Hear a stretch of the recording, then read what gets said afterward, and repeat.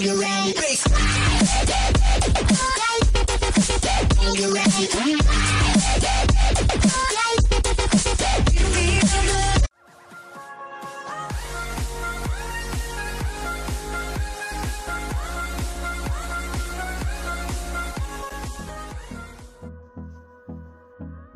what's up guys?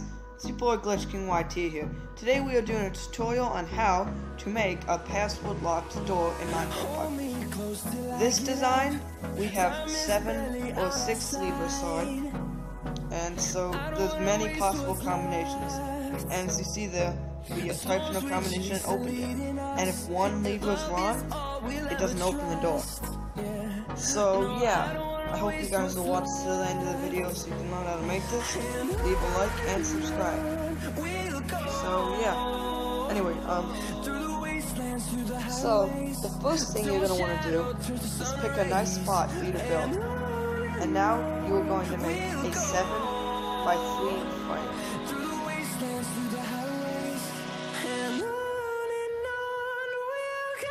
Once, once you dig that out, sorry I forget the dimensions. Um, it's actually a seven by five or ten by five or something like that. It, it doesn't really, it doesn't really matter. You don't have to make a frame at all. But anyway, this is just what I chose to do the.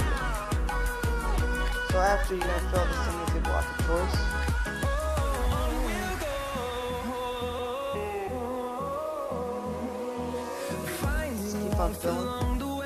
I'll be right back once I'm done filling.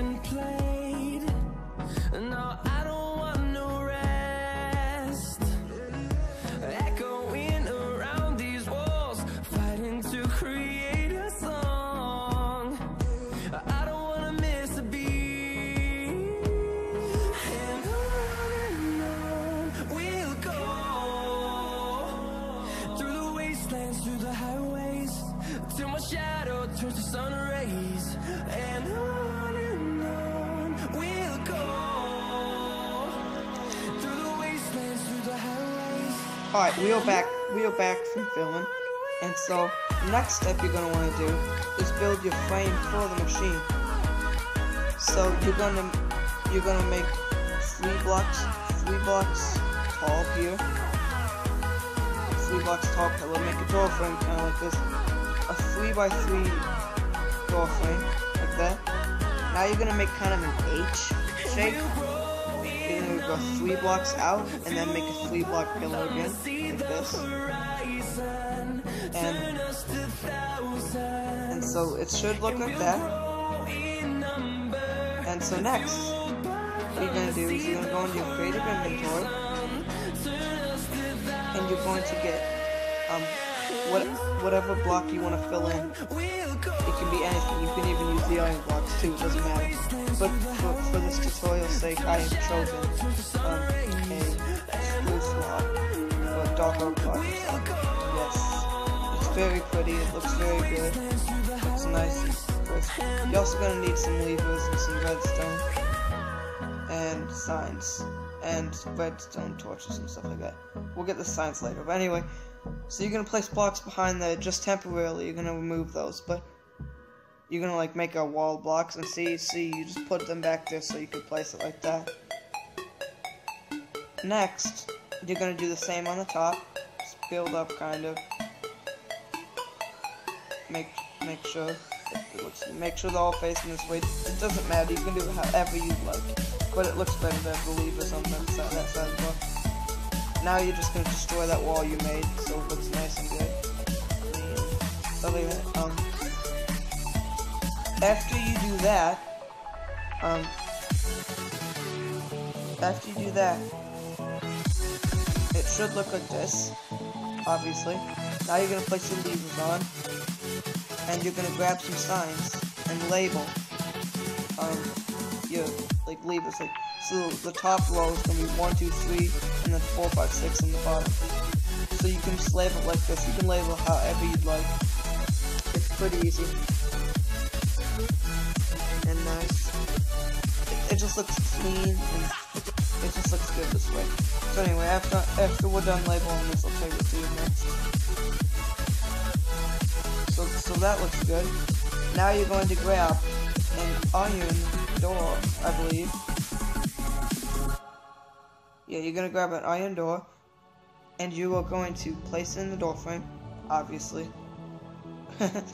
so, so that's what your whole thing's gonna look like, pretty much. We just have to do the redstone behind the back now. So what you're gonna want to do is you're gonna go two blocks out from the center wall here. And so basically, how you do this part now, now you have to choose your combination. So to choose your combination, you put a redstone torch behind the levers that have to be flipped. So basically, if you want your combination to be 1, 3, 4, 6, you place it, you place it on the four corners. For the sake, I'm doing 1, 1, 2, 5, 6. So all those levers with the redstone torches are going to be flicked on, and that'll be the password. But you don't flick them on yet, just, just to keep in mind. Now you put red redstone basically all around these things. On the top too. Now you use a block to connect it to the bottom.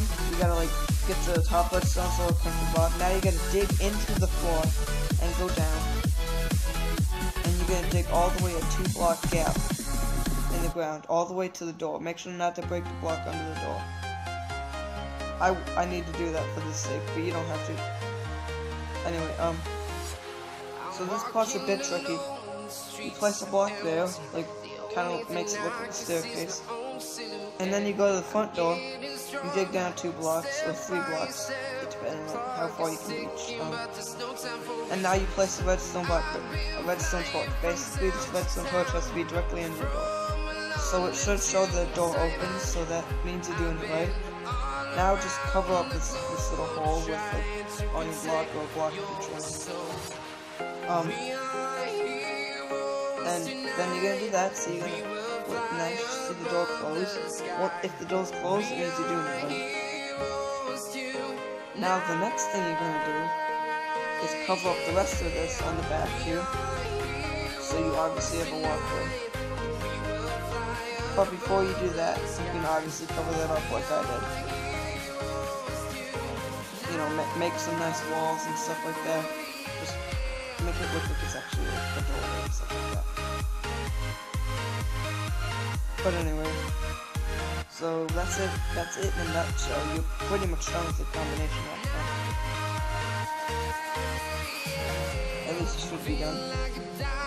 You can just cover this up however you want. I'm not going to do too much of it, but now, basically flip the levers that have the redstone torches behind them. But, but right here, see as I'm flicking on the levers, they didn't do anything. So basically you just gotta test to see if it will open. Now we flick the right levers, see it opens, you have to flick the exact right levers. And go to open. And yeah, that's pretty much it. It's a super simple design. I always used to think that these things like super complicated, but then I figured out a way to do it. So it's, it's really nice. Um, I tried to build like a 50 combination, not combination, 51, but it was nice. But anyway, thank you so much for watching, guys.